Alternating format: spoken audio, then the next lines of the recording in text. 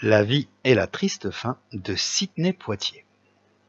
Né prématurément de parents bahamiens alors qu'ils étaient en vacances à Miami, ceux-ci ont dû rester à Miami pendant trois mois afin de pouvoir soigner ce nourrisson fragile. Ses parents, Reginald James Poitier et Evelyn, étaient des agriculteurs. Il a grandi dans la pauvreté et tourné vers la délinquance lorsque son père, inquiet, l'envoya vivre avec son frère à New York. Il travailla comme plongeur dans un restaurant pour joindre les deux bouts. N'ayant jamais reçu d'éducation formelle, il apprit à lire grâce à un serveur juif qui lui enseigna après ses heures de travail. Il a rejoint l'American Negro Theater, mais a d'abord lutté en raison de son incapacité à chanter et de son fort accent bahamien. Il s'est entraîné dur pendant plusieurs mois pour surmonter ses faiblesses. Il a enfin reçu un rôle principal dans la production de Broadway, Lysistrata. Cette performance fut très appréciée et il est devenu un acteur de théâtre populaire il a rapidement commencé à recevoir des offres pour faire des films. En 1950, il a joué dans le film No Way Out, dans lequel il incarnait un médecin, le docteur Luther Brooks, s'occupant d'un patient raciste blanc qui meurt au milieu d'une procédure médicale. Le rôle lui a valu des critiques élogieuses. Après avoir joué des rôles de soutien dans plusieurs autres films au début des années 50, il obtint un rôle décisif dans le film de 1955 Blackboard Jungle, basé sur le roman du même nom d'Evan Hunter. Poitiers y interprétait un étudiant qui s'engageait dans un comportement antisocial.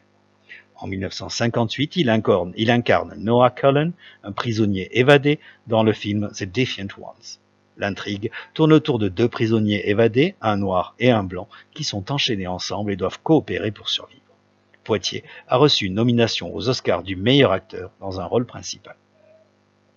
Il a joué avec Ruby Dee, Claudia McNeil, Diana Sands et Roy Glenn dans le film dramatique de 1961 A Raisin in the Sun, basé sur la pièce de Lauren Hansberry du même nom. L'année 63 fut pour lui une année charnière. Il joua Homer Smith dans le film Lilies on the Fields, produit et réalisé par Ralph Nelson. Sa performance a été appréciée par la critique et lui a permis de remporter plusieurs prix et distinctions. Il est ensuite apparu dans le film à succès A Patch of Blue en 65, qui traitait d'une relation entre un homme noir et une fille blanche aveugle, et des défis auxquels ils se sont confrontés alors qu'ils tombaient amoureux l'un de l'autre dans cette Amérique ségrégée racialement. En 1967, il apparut dans le film policier Dans la chaleur de la nuit. Il y interprétait le policier Virgil Tibbs, impliqué dans une enquête pour meurtre dans une petite ville raciste. Le film a été suivi euh, deux autres films qui s'appellent Mr. Tibbs, sorti en 1970, et L'Organisation en 1971, dans lesquels il reprendra deux fois le rôle.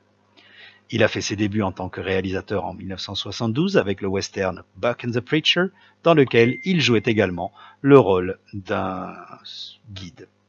Après ce film, il a continué à réaliser plusieurs autres films à succès, dont la comédie Steer Crazy en 1980. Par la suite, il a été nommé ambassadeur des Bahamas au Japon en avril 1997, poste qu'il occupe toujours actuellement, et il est également ambassadeur des Bahamas auprès de l'UNESCO. Il a remporté l'Oscar du meilleur acteur dans le rôle principal pour le film Lilies on the Field en 63, l'Academy Honorary Award en 2002 pour ses performances extraordinaires et sa présence unique à l'écran et pour avoir représenté l'industrie du cinéma avec dignité, style et intelligence.